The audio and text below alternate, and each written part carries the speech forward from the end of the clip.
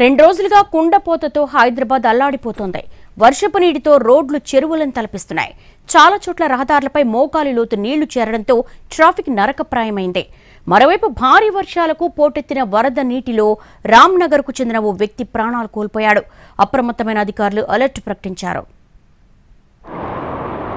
ఏకధాటి వానలు హైదరాబాద్ను ముంచెత్తుతున్నాయి. సోమవారం నుంచి వివిధ ప్రాంతాలలో భారీగా వర్షం కురుస్తోంది.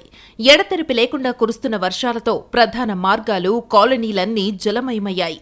దిల్షుక్ నగర్ కొత్తపేట సరూర్ నగర్ ఎల్బీ నగర్ నాగోల్ అల్కాపురి ప్రాంతాలలో భారీ వర్షం కురిసింది. అమీర్పేట జూబ్లీ హిల్స్ బంజారా హిల్స్ ఖైరతాబాద్ నాంపల్లి బషీర్బాగ్ హిమాయత్ నగర్ ఆబేద్స్ కుత్బుల్లాపూర్ జీడిమెట్లలో కుండపోత దంచికొట్టింది.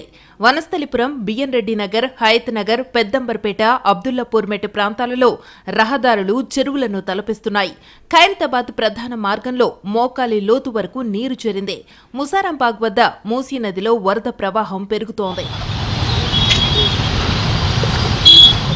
ముషీరాబాద్ పరిధిలోని లోతట్టు ప్రాంతాల ప్రజలు తీవ్ర ఇబ్బందులు పడుతున్నారు.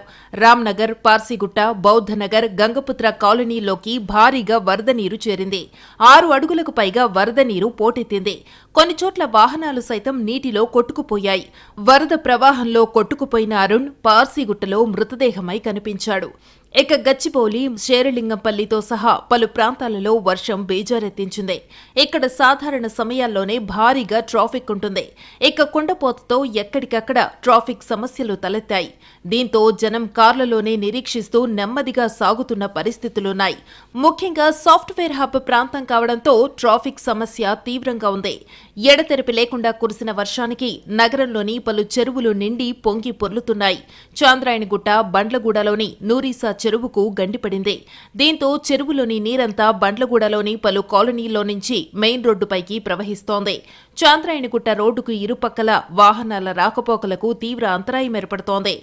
మలక్పేట ప్రధాన రహదారి రైల్వే వంతెన కిందకు భారీగా వరద నీరు చేరింది. డబీర్పుర వద్ద వరద ప్రవాహంతో రాకపోకలు నిలిచిపోయాయి. తెలంగాణలోని పలు జిల్లాల్లో భారీ వర్షాలు కురుస్తున్నాయి. ఉమ్మడి మహబూబ్ నగర్ ఉమ్మడి ఆదిలాబాద్ నిజామాబాద్తో సహా పలు ప్రాంతాలలో భారీగా వర్షాలు పడుతున్నాయి. మరోవైపు ఏపీలోనూ భారీగా వర్షాలు కురుస్తున్నాయి. అనంతపురం జిల్లా గుత్తి మండలం కొజ్జాపల్లి గ్రామ సమీపంలో మంగళవారం తెల్లవారుజామున కురిసిన భారీ వర్షానికి వంక పొంగి పారుతోంది.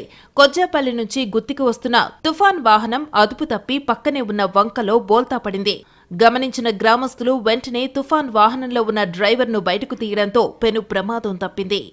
తెలంగాణలో రెండు రోజుల పాటు తేలికపాటి నుంచి మోస్తరు వర్షాలు కురుస్తాయని హైదరాబాద్ వాతావరణ కేంద్రం ప్రకటించింది. బుధవారం గురువారం రాష్ట్ర వ్యాప్తంగా మోస్తరు వర్షాలు కురుస్తాయని వెల్లడించింది. ఇరవై నాలుగున ఉమ్మడి ఆదిలాబాద్ కరీంనగర్ వరంగల్ జిల్లాల్లో భారీ వర్షాలు కురిసే అవకాశముందని తెలిపింది.